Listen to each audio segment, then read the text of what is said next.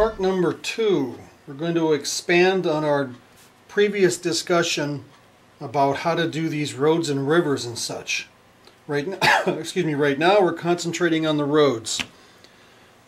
We're looking at here is the beginnings of an intersection.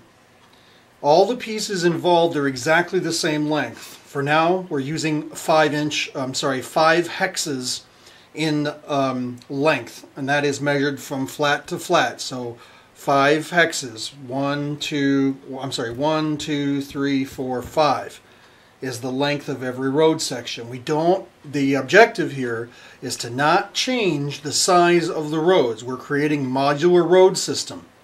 We don't want to have to cut, even though they're foamies, like I said before, we don't want to have to go around cutting and shaping every time we need something. We want to do this set once, have the pieces cut once, and then just try and use them for whatever battlefield we're creating.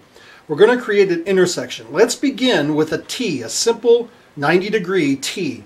So normally you would have your road section look like this, and the other guy would come up and you'd have it like that. There's your T. But that, as you saw, as I pushed in this one and pushed in this one, now shortens the way that they, uh, uh, the way the heck, the way the roads lay on the hexagons.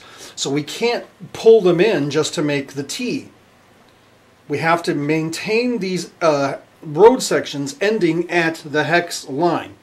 So as you can see, this is, see, it's straight. Well, we got an angle here. Well, let's ignore that for now. These sections, all of them are cut square. We're ending at the hex. They all technically are going to end at the hex. Anytime you throw these roads around, they're going to be from end, I'm sorry, edge of the one hex to where it ends, and edge, uh, end of the other hex. So they're square. They're not angled yet. So let's create a simple T. Well, very simple. Using a piece of cardboard as a template, there's our T. Okay? Now we're going to make an intersection. There's our intersection. A square, simple, straightforward intersection. That's how that works. Now, let's, as you can imagine now, we can go into a million permutations of this type of template. Let's go to a situation where we want to have, or we've run into a situation where we want to have one of the roads shoot off at an angle. Well, obviously we can make several different angles, and if the hex is 1, 2, 3, 4, 5, 6, we've got six uh, angles we can cut. So let's take this away. We're going to make an angle coming off of a T. Okay, again, start with the T shape. There we are. And now we're going to make one of these roads shoot off at an angle. Take this away. We'll put in our T that has uh, an angle. So there's the same thing. Okay? But this guy's going to shoot off at an angle. Boom. Okay, if obviously we wanted him to shoot off at a sharper angle, we would make a template that would do it like this. See the line here where I was talking about splitting the hex? Misnomer, no doubt, but you get the idea. These lines we want to follow. So this one fills the hex as normal, but this one we want to come off, and I don't think I've made this one actually yet, but this would be another one we would probably make. We're going to follow this line right here. So we would want this to go like that. Okay, without again, without cutting, without changing the shape of the end of the road, we want to leave it at its length of five hexes, but we want to adapt to make this a really sharp angle. So we'll have to cut a shape that does exactly that. So you can see here, we're going to need a T shape that has an angle that's inverted. Like you see this here or actually there's an angle here. The next angle is going to be coming off even sharper. Now you you could say that with an angled piece I might be able to let me see if I can reach for one. We could do it like that. So if I had an angled piece there we have our road coming off like that at a sharp angle. But that implies I need to cut angled pieces. What if I don't want to do that? I want all my road sections to be flat. Well, and that would mean in order to accomplish this angle matching up the way it is, okay, I would need to have this intersection, this fork, cut to accommodate the length. Let's go back to our length. So now I need to create a piece, if I can get this right, that shoots off like that. We would probably want it to shoot off like this, but that would be a crazy shape to cut. So let's leave our little piece the way it is and simply make one that follows that line and matches up to that guy. So we would need a piece that looks like, this is where we have to do a little bit of trial and error. So we want to match that up without changing again, without changing this piece, we want to match it up. So this guy would have to have a shape that marries up to him. So let's just do that. I'll show you how we did it. Just use a piece of paper, cardboard,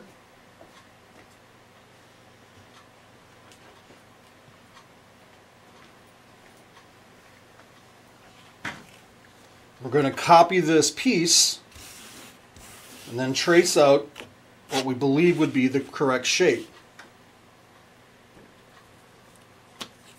So let's take our piece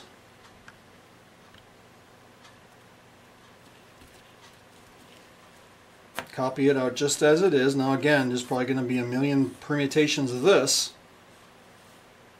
Okay, so there's our original piece, but now we already know that that's not going to quite suffice. So let's just kind of put that on there without doing any heavy calculations.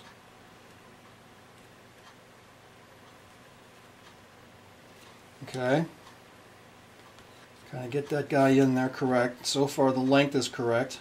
We want this guy to shoot off like this. Again, we don't want to change his length. We want to keep the length the same at all, at all times. So this piece here has to shoot off at an angle like this. So instead of leaving this line intact, we'll probably just create a piece that does this. Well, maybe we do want to. See, that's where you have to decide.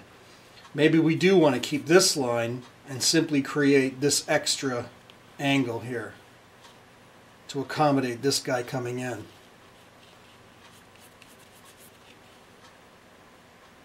So again, you can see that we can do this a million ways to Sunday, but that's the idea. So let's go cut that. It only takes a minute.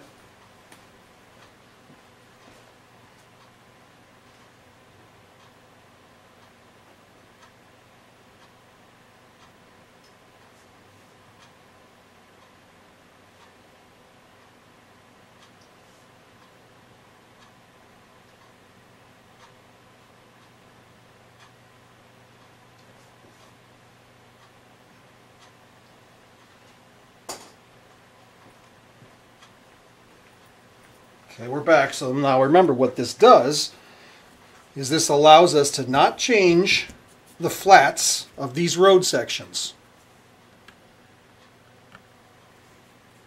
So let's put them in place, just like the other guy. Just like the other guy matched up. Everything should be. You can see how the math is coming out. There's a certain degree of mathematical computation you could do to get this, even on a computer, get this correct. And that's what would appear to be the answer. We won't know until, of course, we carry on down the road here uh, with more angles and measurements to make sure that I've got that mathematics correct. And this angle cutting right here might have to be different uh, based on what the results are down there. So there we go. He's following the, well, actually it's like this, isn't it? I think I screwed up. Yeah, we want to follow that line. So here we go. Here we go. All right, so there you can see what really wants to happen is I did screw up. And that's why we're doing this, to show you what's involved. So this guy, we want to match up like that. Let's just go ahead and draw that line. Sorry if you can't see this. Okay. And then we're going to carry this directly like that should be sufficient.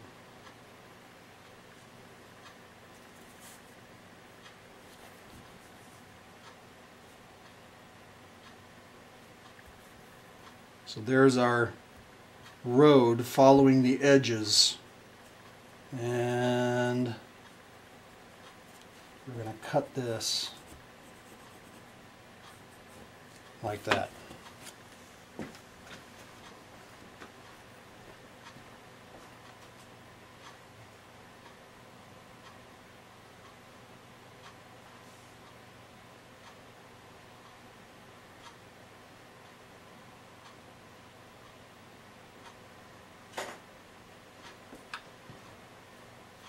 So as you can very well imagine, that's kind of it's going to be a bizarre looking piece, but um, like I said, seeing as we're cutting these out of foamies, they're dime a dozen. So why not cut to your heart's content? So that you have pieces in your inventory that you can just draw on,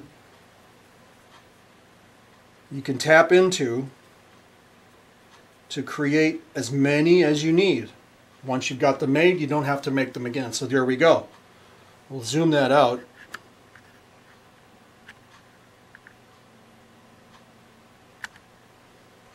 So there's your, what appears to be an odd angle coming off of a T intersection or a, a fork in the road.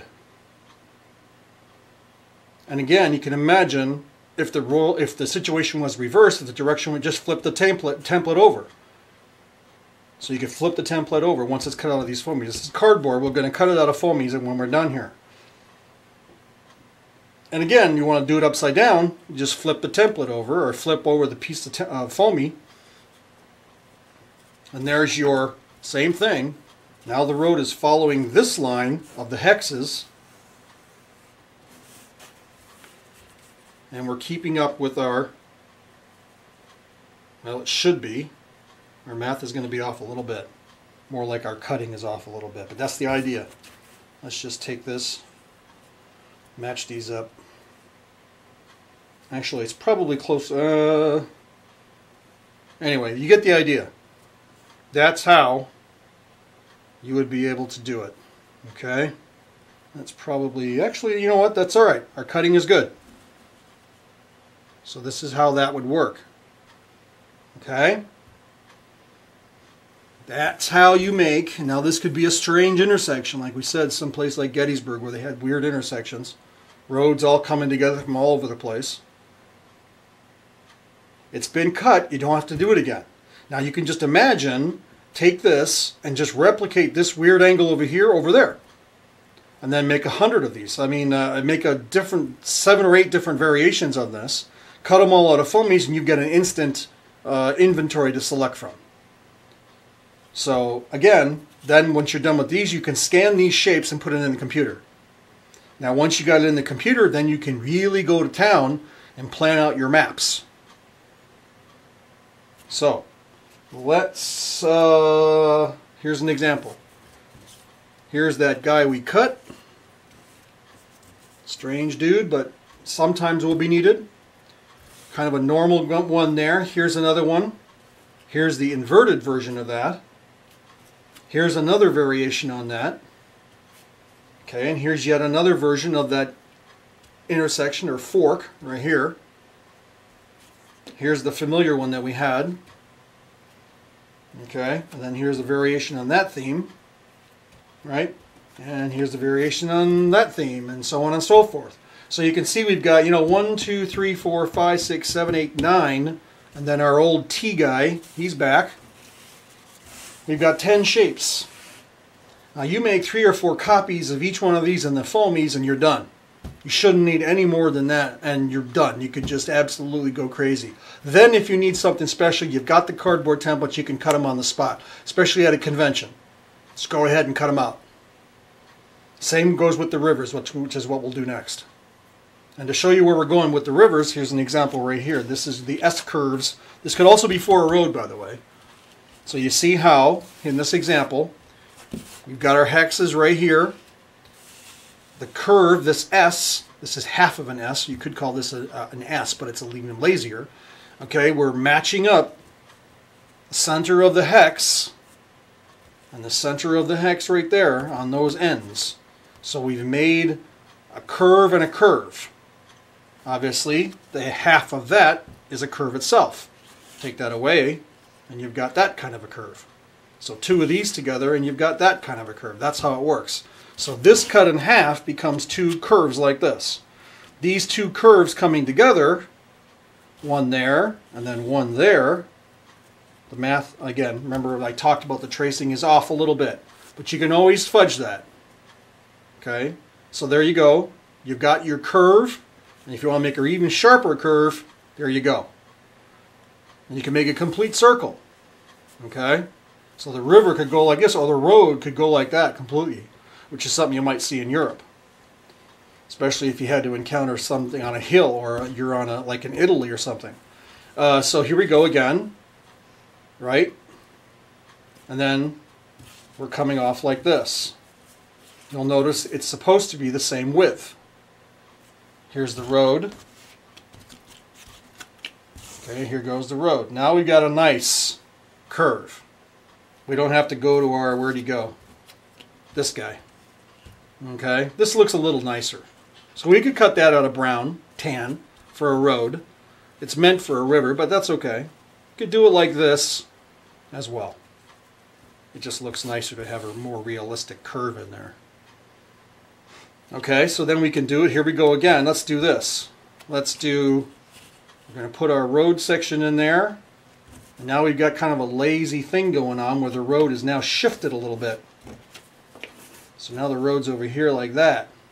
The road shifted. Maybe there's a hill or a, or a building or a house in here or a rock formation that made the, the, uh, the builders of the road or of the natural inclination of the people when they're in their transports had they did it this way, this this becomes a road by default.